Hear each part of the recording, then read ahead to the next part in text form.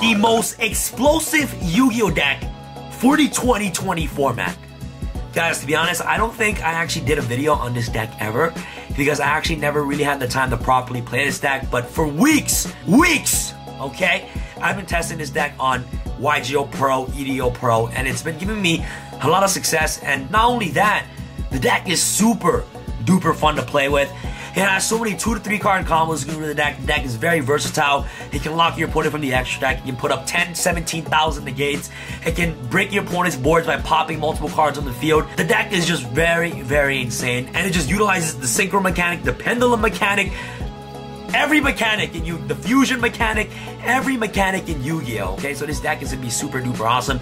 If you guys have not yet checked out this deck profile, make sure you guys check it out. Hit the link in the description box below. That'll be absolutely amazing. And you know what, guys? You guys are gonna see for yourself how crazy this deck is 40 20 20 format. Alright guys, for those of you here on the channel for the very first time, my name is Sam from Team Samurai X1. What's going on? Consider on hitting the subscribe button and make sure you guys turn notification bell to get notified each time I upload videos. They'll be absolutely amazing. Alright guys, and as always, if you guys want to see more videos like these, make sure you guys go there right now and smash that thumbs up button. That'll be absolutely phenomenal. Alright guys, I won't waste any more of your time. Without further ado, let's get started with the most explosive Yu-Gi-Oh! deck for the 2020 format. Alright guys, let's do it.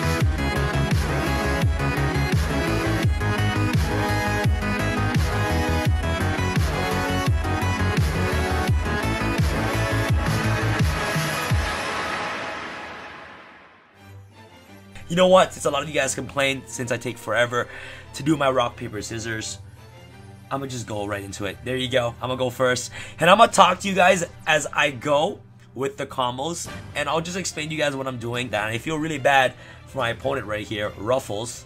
Is that Chips? It kind of sounded like Ruggles for a sec. But anyways, yeah, I'm just gonna go right into, uh, you know, making the combos. Today video, we're talking about DDDs. If you guys have not seen the DDD deck profile, make sure you guys check it out. Hit the link in the description box below. DDD Dave goes in depth about this deck. And ever since, uh, you know, DDD Dave showed me this deck, I was like, you know what? I gotta play test this deck a little bit further. And I'm to you guys right now, this deck is actually really, really fun and it's also really, really explosive. My hand right now looks like it is full combo with Kepler Swirl and Lamia. Earlier, I had Kepler and Swirl, which is still full combo. Uh, with uh, the Union Carrier Lock and Siegfried. That would have been really, really good as well. Right now, I, I got two Call by the Graves in my hand, so my chances of my combos going through is really, really high. So we're to go Kepler. Activate Kepler's effect to add, of course, we're going to add Contract with the Gate and directly from our deck to our hand. Then we're going to activate Gates. So we're to add Necro Slime directly from our deck to our hand. And what's to happen this point is that we are going to activate Swirl Slime. So activate Swirl Slime uh, to summon into, of course, this small Genghis.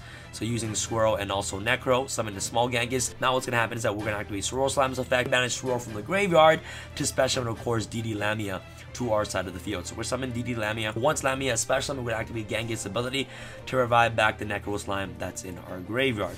Using Lamia and also Genghis, we're to make our DDD High King Alexander. And if you guys did not notice, all the DDD monsters are really unique because they are like, they kind of remind you of like these old school how do I say it? These like no, not historians. I I suck with history, but I don't know where Genghis is from. But King Alexander. There's also King Caesar.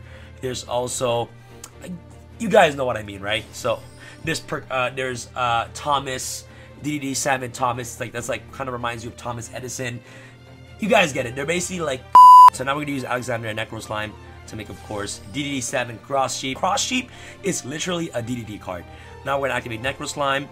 Okay, banish, of course, uh, especially on the big Genghis, we're especially on the big Genghis, by banishing the small Genghis and Necro, summon the big Genghis, make sure you summon it to Cross Sheep Zone. Cross Sheep is not going to trigger its effect to revive back, of course, Lamia that's in our graveyard.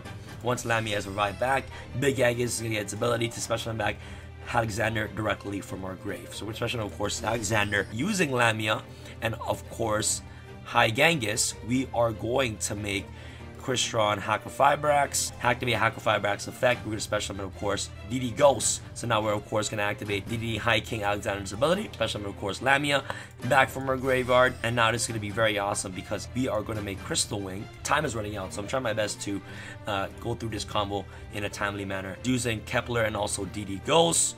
We are going to special summon the big boy himself, card that's just been released off Duel Overload. Duel Overload just takes, just gives so much value to DDDs because of the brand new support cards that we get. Gilgamesh Shielding 1, Ghost Shielding 2. Ghost is gonna target Lamia. Gilgamesh is gonna be able to, send Apocalypse and also Abyss King Ragnarok to our scale. Apocalypse ability, we're gonna banish, uh, you know, we can banish Ghosts and also the Big Genghis to special an Apocalypse from our scale. We're not going to trigger off Ragnarok just yet. We're just going to activate Ghost to put back the small Genghis to our graveyard. And now what's going to happen is that we're going to use Lamia's effect, activate Lamia. We are going to send the Gilgamesh that's on our field to the graveyard to special in Lamia right here. And it's really important, with Lamia under cross sheep zone right here. So that way we can trigger out Ragnarok's ability to special of course Genghis to the zone that cross sheep points to. So this is our whole entire board setup right now. We are going to end off with, of course, by using Apocalypse and Lamia to make Siegfried. And now we're going to set our two Call by the Graves that we drew, one off for lore. And now we're just going to end our turn. So this board doesn't look as strong, but you guys will see in a second how crazy this thing is because of Crystron Halqifibrax and also DD Cross Sheep right here. So now we're just going to go into our end phase. This is our end board right here. Okay, very awesome. And let me explain to you guys what this end board does right now. So we have Cross Sheep that's pointing to DD Flame King Genghis. So what's going to happen is like, if you guys did not know, Cross Sheep has the ability, if a monster is special summoned to a zone this card points to, you can apply the following effects in sequence based on the card types of the monster this card points to.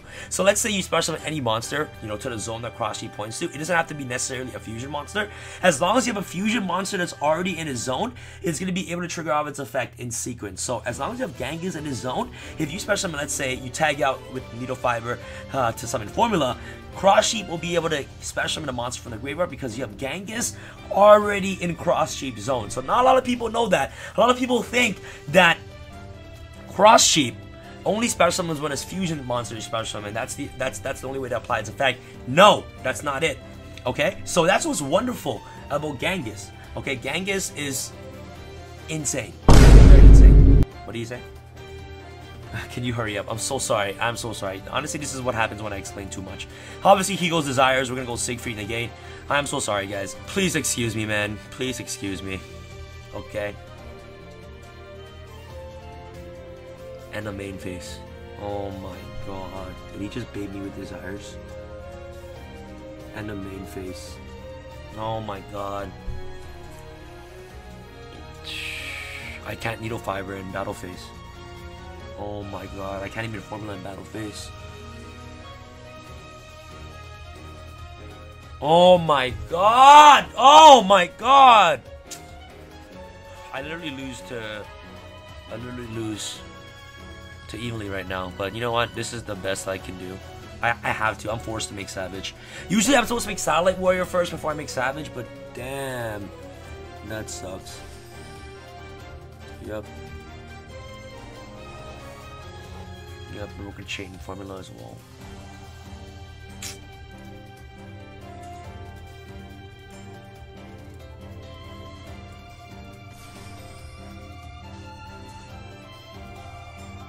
I am forced to make Savage, guys. That evenly match would have killed me. Okay, so you go Swap Frog. Obviously, I'm not going to Savage the negate. He's trying to go Battle Phase. Paleo, but with Evely in the main deck. Paleo with Evely. Frogs with Evely in the main deck? I would have Crystal indicate that. Let's see if he still attempts to enter battlefield. Wow! Wow! Wow! Jebaited, bro. Jebaited. Wow. Jebaited. Good play, Ruffles.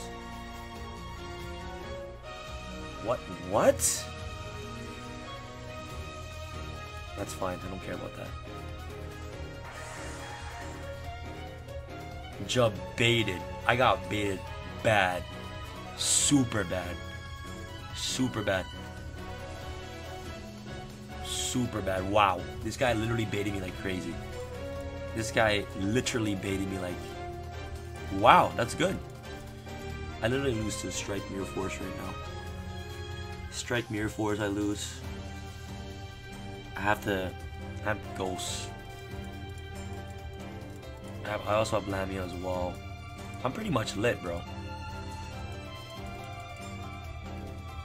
I am super lit. Okay, let me just... Crystal Wing doesn't matter to me.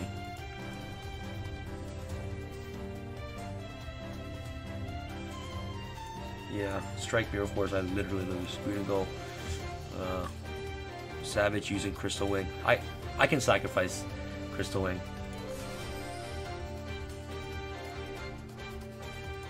Let's chain block. Let's chain block so you can't strike my warrior. One, two, three.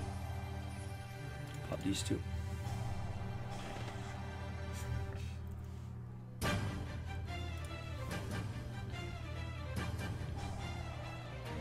Oh, there you go. Okay, so that wasn't strike. Someone Siegfried negate that. And he also can bring back Olenoides from the grave. Dinomischus as well. Yeah, wow. Oh my goodness, that bait with the evenly, man. That was crazy. Oh my goodness. Good plays, man. Good plays.